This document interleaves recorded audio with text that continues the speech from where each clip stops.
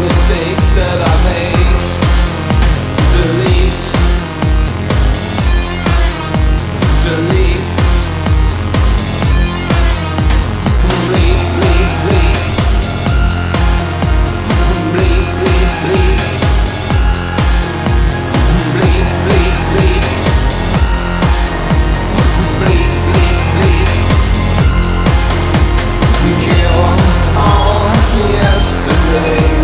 Let's just start again. Heal.